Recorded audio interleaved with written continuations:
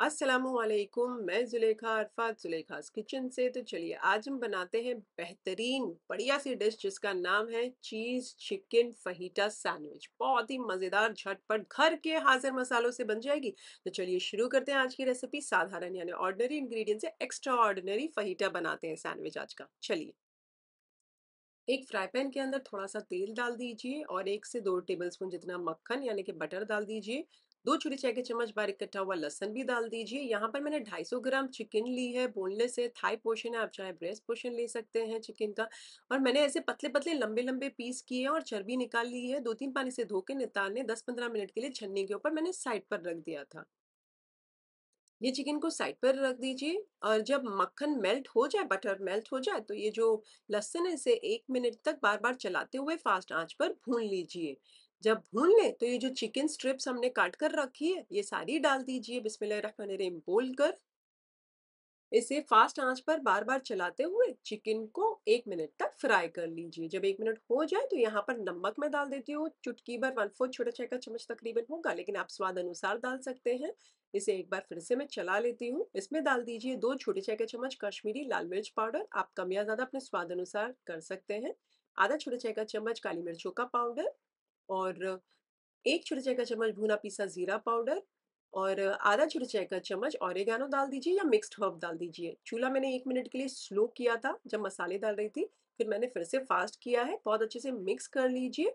एक छोटा चाय का चम्मच नींबू का रस भी डाल दीजिए अपने स्वाद अनुसार भी डाल सकते हैं, उसे भी डालकर मिक्स कर लीजिए और इसे फास्ट आँच पर तब तक फ्राई कीजिए मसालों को जब तक तेल नहीं छूट जाता। जब तेल छूटने लगे वन फोर्थ या आधा कप पानी डाल दीजिए। मैं आधा कप पानी डाल रही हूँ और इसमें हल्का उबाल आ जाने दीजिए। उबाल आ जाए तो स्लो आँच करके ढाक कर तब तक पकाएँ। जब तक चिकन नहीं गल जाती और पानी पूरी तरीके से ड्राई नहीं हो जाता। चलिए, कुछ देर बाद चिकन पक चुकी है और आप चाहें तो ये पूरा मसाला सुखा भी सकते हैं, बट मैं नहीं सुखा रही हूँ। जितना है मैं उतना रहने दे रही हूँ। तो इसमें अब डाल दीजिए एक छोटा चाय का चम्मच चिली सॉस और यहाँ पर मैं डाल देती हूँ टमाटर सॉस तकरीबन डेढ़ टेबल स्पून जितना। इसे भी डालकर मिक्स कर लीजिए। चूल्हा कर दीजिए मीडियम आँच और इसमें उबाल आ जाने दीजिए।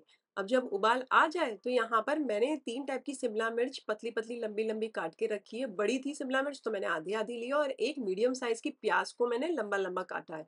तो जब उबाल आ जाए तो ये सारी सब्ज़ियाँ डाल दीजिए और इसे बार बार चलाते हुए आधे एक मिनट तक फ्राई कर लीजिए।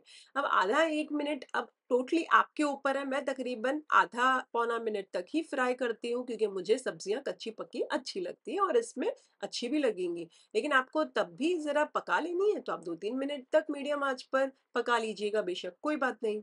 अब जब आप मिक्स कर ले तब चुटकी भर नमक और चुटकी भर काली मिर्चों का पाउडर डाल दीजिए, उसे भी चलाकर मिक्स कर लीजिएगा। आप देख रहे हैं मैं स्लो और मीडियम, स्लो मीडियम कर रही हूँ, क्योंकि मेरी जो ये जो फ्राई पैन है ना, वो कभी कभी एकदम नॉन स्टिक नहीं है ना तो चिटकने का डर रहता है। तो आप मीडियम आँच ही रखिएगा।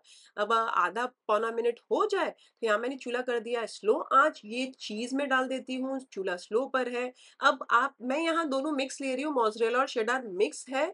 ये तकरीबन आधा कप थी, मैं और ऊपर से डाल रही हूँ, ये टोटली आपके ऊपर आपने जितनी चीज़ डालनी है, डालिए। मैं मेरे हिसाब से डाल रही हूँ और मैं दो मिक्स डाल रही हूँ, आप कोई भी एक तरीके की भी डाल सकते हैं। थोड़ा सा चिली फ्लेक्स डाल दीजिए और थोड़ा सा ऑरेगानो स्प्रिंकल कर दीजिए चीज़ के ऊपर और इसे ढाक कर तकरीबन स्लो आँच पर तब तक पकाएँ जब तक चीज़ मेल्ट नहीं हो जाती। तब तक। ये आप देख सकते हैं, चीज़ अच्छे से मेल्ट हो गई ना, अब मैं इसका कर देती हूँ, चूल्हा बंद, इसे ढाकिएगा मत, साइड पर रहने दीजिए, ये ब्रेड है, मैंने लंबा वाला ब्रेड लिया है, कोई भी तरीके का ब्रेड ले सकते हैं। उलट पलट करते हुए दोनों साइड्स पर इसके मक्खन लगा लीजिए और टोस्ट करने के लिए एक तवा ले लीजिए और इसे इस तरीके से ग्रिल कर लीजिए उलट पलट करते हुए, जब अच्छा ग्रिल हो जाए दोनों ओर से ये सैंडविच सबसे पहले प्लेट के अंदर रख दीजिए और खुला करके रखिए और आप इस साइड पे लगा दीजिए सबसे पहले तो टमाटर सॉस, केचप यानी कि, और उसी के ऊपर लगा दीजिए मायोनीज और जो हमने गर्मा गर्म हमारी जो सब्ज़ी है वो साइड पर रखी है, वो लगा दीजिए इसके ऊपर ऐसे। बराबर से डालिएगा बढ़िया से क्योंकि ये तो बहुत अच्छे से पकी हुई है और चीज़ी भी है। जितना आपने डालना है, उतना डालिए। फिर से इसके ऊपर आप थोड़ा सा मायोनीज लगा दीजिए मायोनीज सॉस और उसके ऊपर टमाटर केचप लगाकर इसे बंद कर दीजिए और ये बन गए बढ़िया सा हमारा चिकन फहीटा सैंडविच रेडी है सर्व करने के लिए बढ़िया सा गर्मा गर्म इसी तरीके से डिफरेंट स्टाइल के मैंने बर्गर्स और सैंडविचेस और ऐसे बनाए हैं, मेरे चैनल पर अपलोड किए, आप लोगों के लिए सारे लिंक्स डिस्क्रिप्शन के अंदर है, आप वहाँ चेक कर लीजिएगा।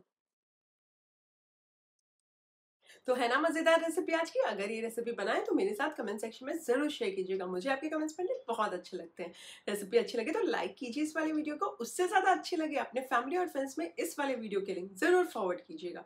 फिर से हाजिर होंगी नई शानदार, दमदार रेसिपी के साथ। अंटिल देन टेक केयर अल्लाह हाफिज़। Bye bye